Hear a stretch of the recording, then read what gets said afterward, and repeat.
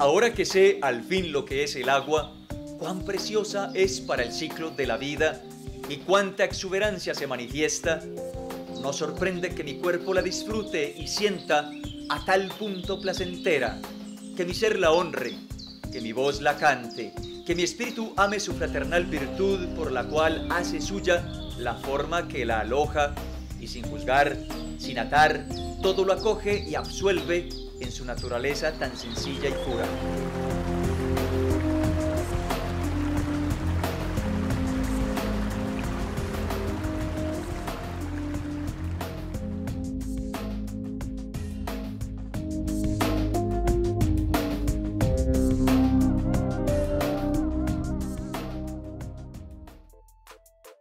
San Bernardo de los Farallones, territorio biodiverso y pluricultural. Asentado en la cadena montañosa Farallones de Citará, reserva forestal protectora con más de 30.000 hectáreas protegidas. Hábitat de 823 tipos de plantas, 312 especies de aves, más de 2.700 ejemplares de insectos. Su cerro San Nicolás se levanta imponente a 4.020 metros sobre el nivel del mar zona de páramo, albergue de frailejones y otras especies vegetales y animales de valor incalculable. Quienes aventuran a subir por su escarpada montaña disfrutan de la riqueza paisajística del lugar y de un balcón privilegiado desde donde se aprecia el suroeste antioqueño y el departamento del Chocó.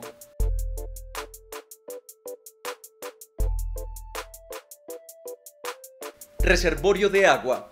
En sus bosques de niebla fluye la vida a borbotones, robles, cedros, nogales, cominos, patudos, yarumos, siete cueros y muchos otros que viven en equilibrio con bromelias y orquídeas, musgos y líquenes, helechos y heliconias, formando una fábrica de agua, de alimento y de oxígeno.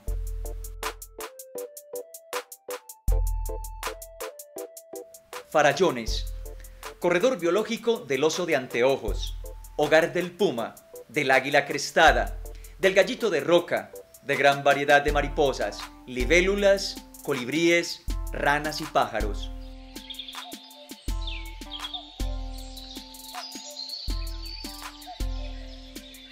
Montaña verde azulada, madre de numerosas quebradas que en su fluir y transcurrir sereno o impetuoso riegan tierras fértiles para la agricultura y para la vida en todas sus formas.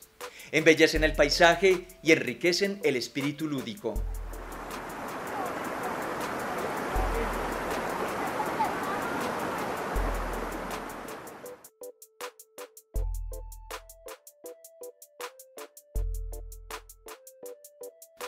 Su riqueza hídrica beneficia a gentes de diversas culturas y cosmovisiones.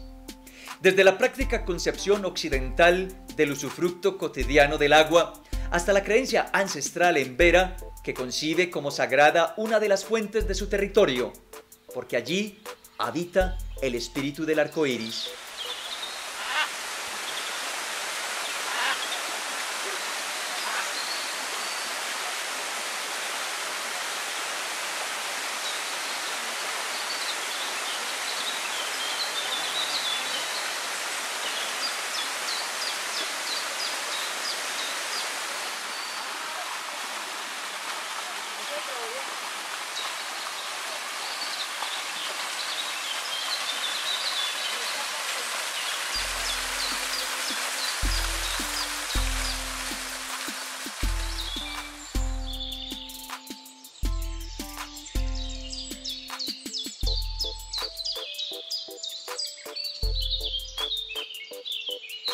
Sus escarpados cerros, sus quebradas y cascadas son el espacio propicio para prácticas ludocorporales variadas.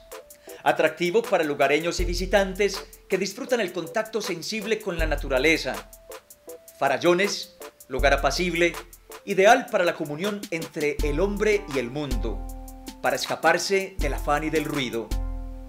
Aquí se vale caminar por sus colinas y bosques disfrutando del concierto de pájaros grillos y ranas.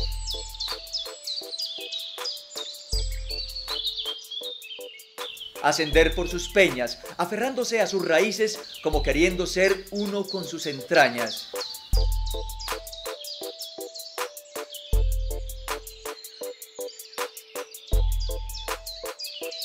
jugar a saltar y a lanzarse a charcos, a estremecerse con sus aguas frías y cristalinas,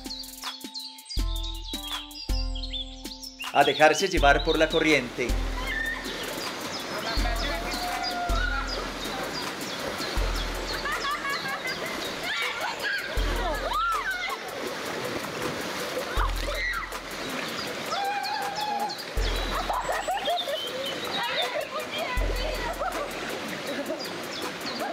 rendirse ante la fuerza del agua o relajarse en su profundidad serena, asombrarse por la belleza de sus cascadas, sentirse pequeño ante su majestuosidad e ímpetu, vivir el temblor de los sentidos ante el maravilloso misterio del fluir del agua.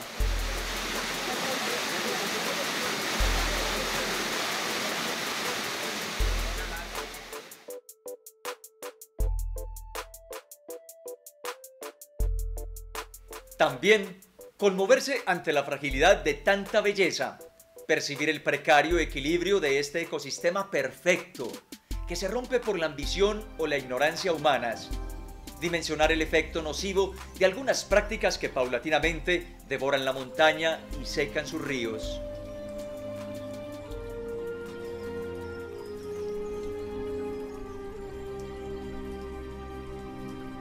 Ojalá fuera mía la generosidad del río, y como él, fluir sin un fin más que fluir, sin otra sed que abrevar la ajena sed, fluir siendo a un tiempo camino y caminante, naciendo en manantial a cada instante, a cada instante desbocándose en insondables lejanías.